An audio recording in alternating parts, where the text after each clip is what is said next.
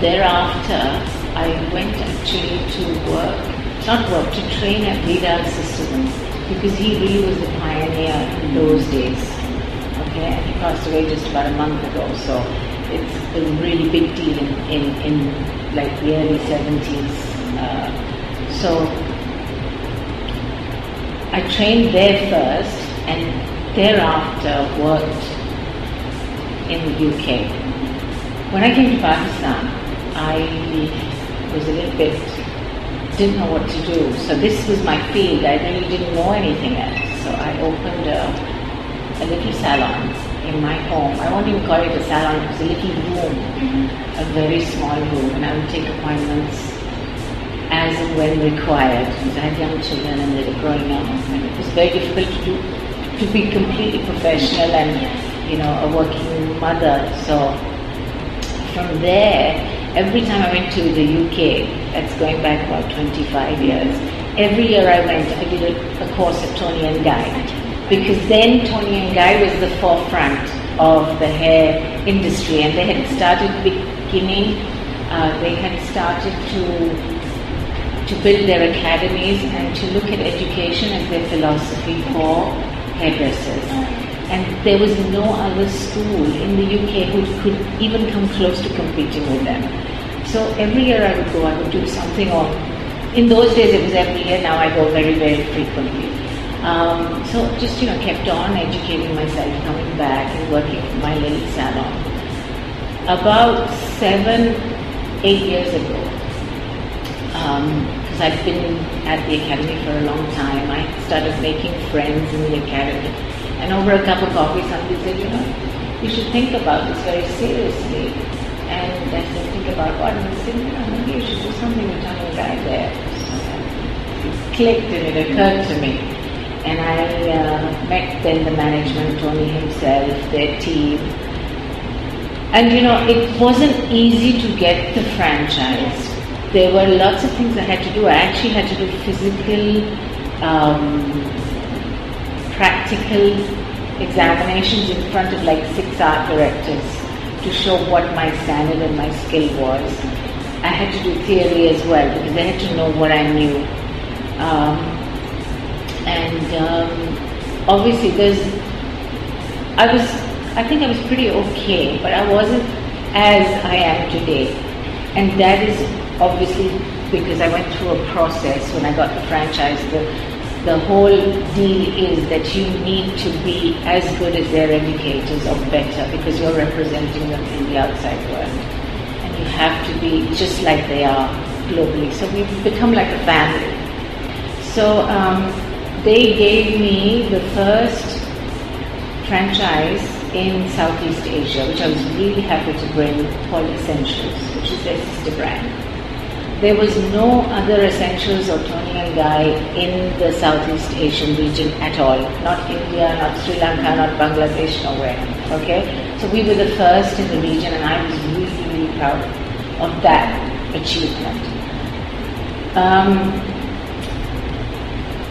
I built a salon setup in the compound of my home for essentials uh, not knowing how the market was going to take it, how the business was going to go. Because, you know, seven or eight years ago, very few franchises were here in Pakistan. Now you have them all. You have the, the Monsoon, the Mango, the Debenhams, the Accessorize. But we, I think, really were, apart from Nike, Nike was around.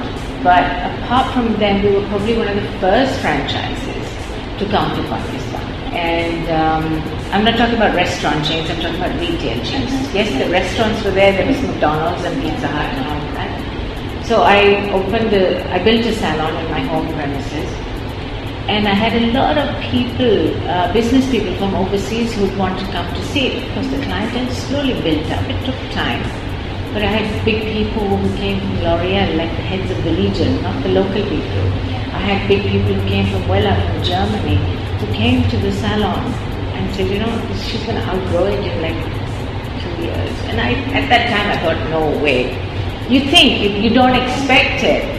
Um, and I remember when they came from L'Oreal uh, Paris, and uh, Ali Gauhar at that time was um, and company were looking after L'Oreal distribution because they didn't have a subsidiary here on the ground.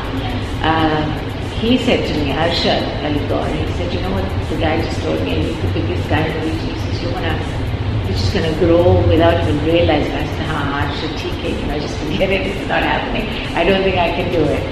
But then three years after Essentials, I decided when I saw the growth, The market response was I, really it was phenomenal. Oh, I decided let me bring in Toni and Guy as the brand to Pakistan. Es- Essentials was already there. So when I went to approach them in, in the UK and I said, look, I'd like to bring Toni and Guy. But I also had a different approach in mind. And I said to myself, look, we've tried and tested Essentials and it works. If I'm going to bring Toni and Guy, I have to bring something different because Toni and Guy is around all over the world.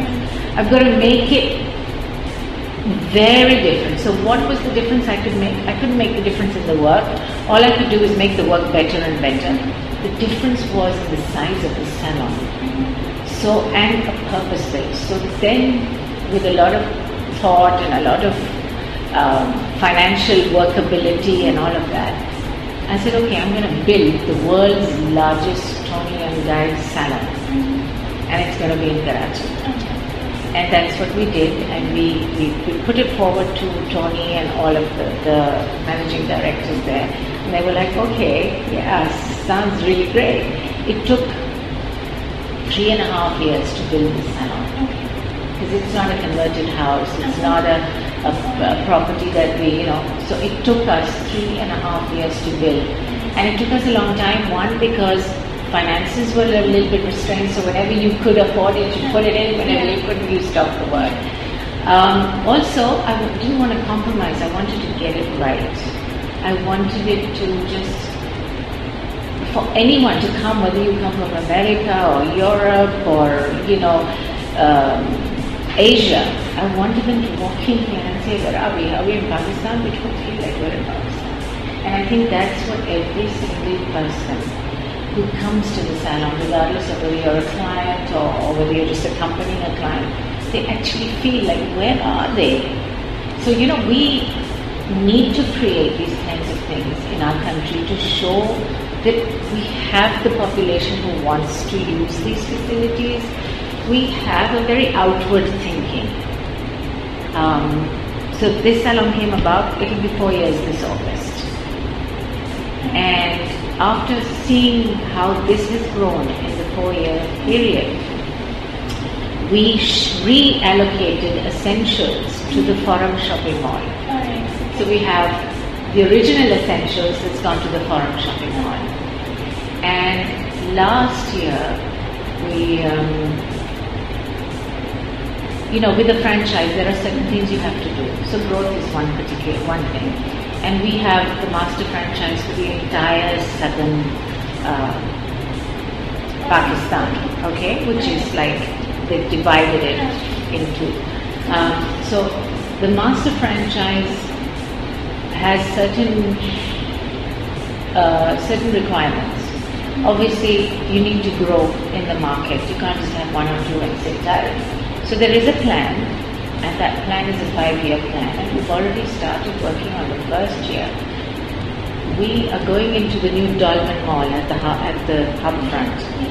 Uh, we've started working there. We've taken a place which is 3,700. Yeah, 3,700 square feet. So it's going to be uh, a flagship mall, Toni and Guy salon. We have a joint venture with the salon, which has just been confirmed. So I can openly tell you about it now. It's taken me a long time to get this joint venture off the ground, but it's come through. Um, Unilever is uh, working very closely with us. So we'll be Toni and Guy Pond Skin Center. Um, so they called me in as the expert to look after because I am certified as a hair and uh, beauty therapist. So I think they're also, you know, in, in, in their company, they've acquired certain high-end brands. And with high-end brands comes in, they're very good at their marketing, they're very good at their strategies and all of that, but they have no knowledge Yeah. of hair or skin. So they are working with very good experts. And I think one, you know, that's why they came to me and said, look, would you do this with us? And of course, you know, working with a multinational is always a difficult thing because if you're an entrepreneur like me, you take decisions on the spot, you do things there and then, and nobody tells you what to do, it's just you. So a lot of thought process has gone into this joint venture, and we are, I think we've come now a long way to say that yes, this is what we're going to do together. And together we can be quite a strength, I feel. Let me start with essentials first. Essentials caters for, uh, because it's at the Forum Shopping Mall, it caters for a lot of walk-in traffic and maybe a younger student clientele because the price is better. We have student discounts going on throughout the year, which is very reasonable and very affordable, okay, for most. And they show a valid student ID and they can avail it. So Essentials is a walk-in traffic, I would say middle class and student. Toni and Guy here is different because I would say this is more your premium um, salon with your two or three percent clientele who travel the world, who uh, multi big multinational people, people who work at multinationals, people who who are brand related, who are um, you know um, who who can maybe afford this kind of work. I'm not saying this is unaffordable because we have again different categories of who you want to go with. So you can avail of the category or you can avail of my services. And obviously there's a premium attached to it. So I would say this is more the high end. Essentials is the mid end. Um, if you talk about if you talk about Leighton Denny, it's it's I would say middle to high end. Okay.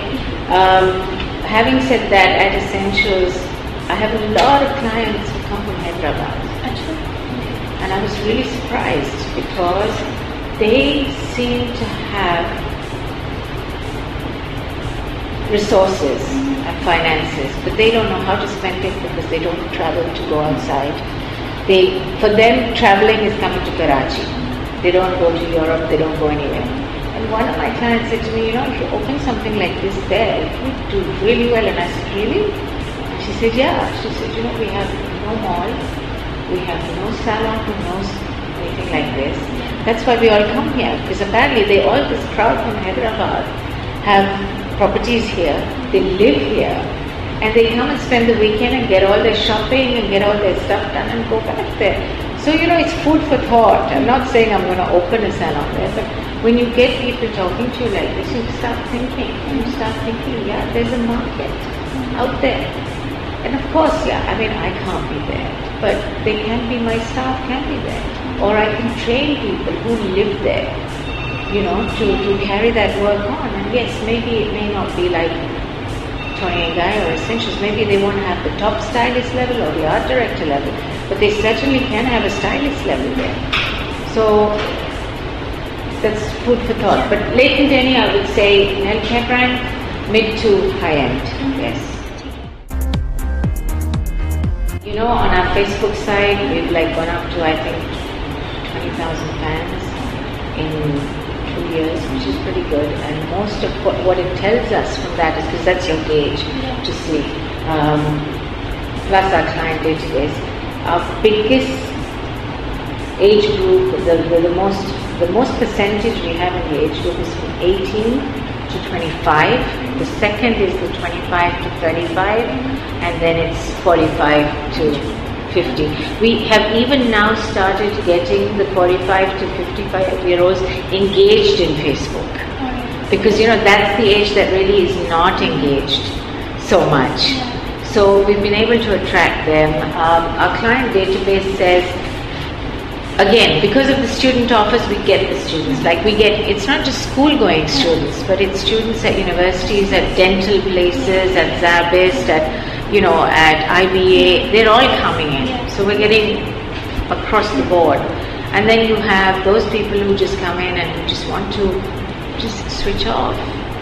So you have those as well. So I would say we have a balance, but yeah, uh, if you're asking really for the men, it would be from 18 to 35. उनकी choice जो है 25 uh, 25 to 35 they want their haircut looking fabulous they're most worried about their cut and their styling second would come color i would say between 35 and 45 is color okay 25 to 35 is purely cut color is an option for them because number one they're not gray they don't have gray hair so they're okay with it you know and if they want to add they'll either add some of our extensions you know which have color in them or they'll have very little color because of the you know price is, a, is, is an issue. But they want styling and they want their haircut to be fabulous. And that's what we get in primarily